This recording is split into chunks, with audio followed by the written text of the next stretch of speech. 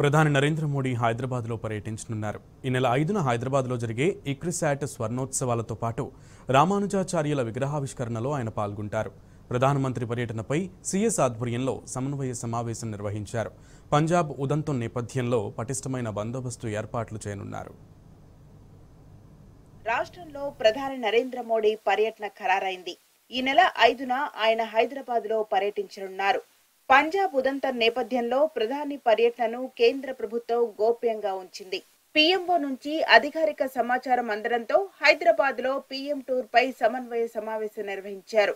పర్యటనకు ఎలాంటి అడ్డంకులు కలగకుండా పటిష్టమైన బందోబస్తు ఏర్పాటు చేయనున్నారు. ఢిల్లీ నుంచి ప్రత్యేక విమానంలో హైదరాబాద్కు రానున్న ప్రధాని మోడీ ఇక్రిసాట్ స్వర్ణోత్సవాలతో పాటు ముచ్చింతల్లో సమతామూర్తి రామానుజాచార్య సహస్రాబ్ది వేడుకల్లో పాల్గొంటారు.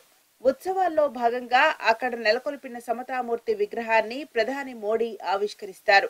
దాదాపు నాలుగు వేల మంది ఋత్వికులతో చినజీయర్ స్వామి ఆధ్వర్యంలో జరిగే ప్రత్యేక పూజల్లో పాల్గొన్న అనంతరం అదే రాత్రి ఢిల్లీకి బయలుదేరి వెళ్తారు.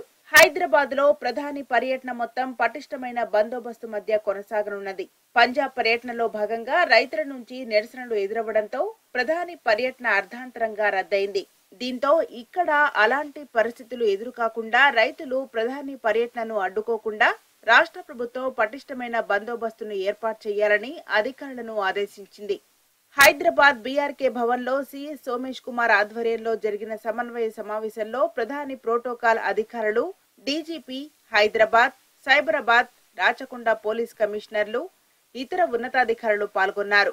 ప్రధాని శంషాబాద్ ఎయిర్పోర్టుకు చేరుకునేటప్పటి నుంచి తిరిగి బయలుదేరి వెళ్ళే వరకు పర్యటన ఏర్పాట్లపై సమీక్షించారు. తీసుకోవలసిన జాగ్రత్తలు అనుమతించాల్సిన వీఐపీలు అధికారుల వివరాలను క్రోడీకరిస్తారు. వాళ్ళకు జారీ చేయాల్సిన పాసులు ఇతర ఏర్పాట్లపై సీఎస్ పలు ఆదేశాలు జారీ చేశారు.